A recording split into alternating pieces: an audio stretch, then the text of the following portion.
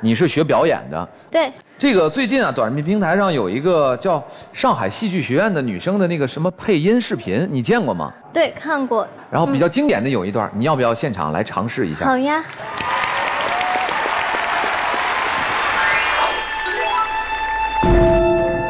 能给我根烟吗？谢谢。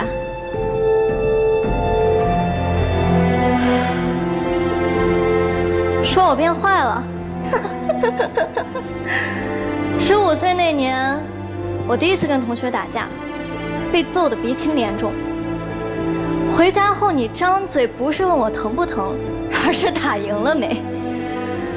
十八岁高考失利，我想复读，你喝得醉醺醺的瘫倒在家里的地毯上，我蹲下来想扶你起来，你一把推开我。把我所有的东西扔掉，大吼着让我滚出这个家，然后再也没联系过我。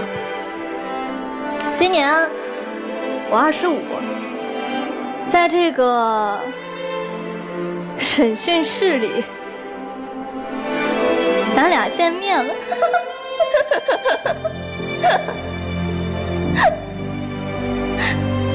讽刺吗？嗯。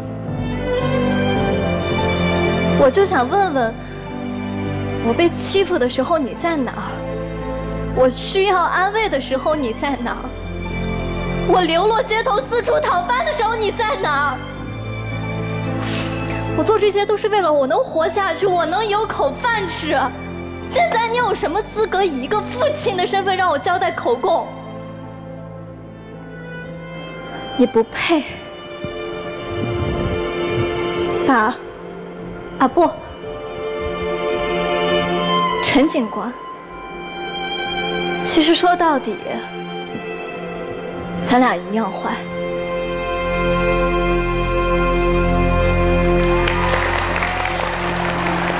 演的真好。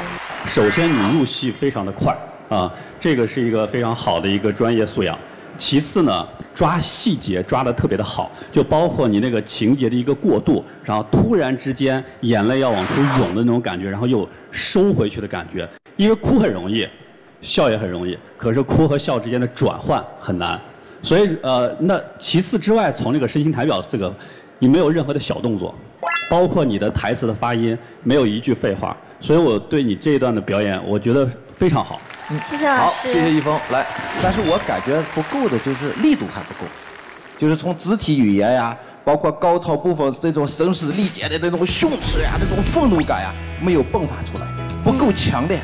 我会觉得，并不一定要咆哮啊，或者是热泪盈眶才是感人的。对，我会觉得那里边那个能量跟情绪非常的浓。到最后他说我关在这里面，然后他在四处看的时候，我就已经知道是什么情况了。然后最后跟父亲去对话，我我就觉得甚至差点哭出来。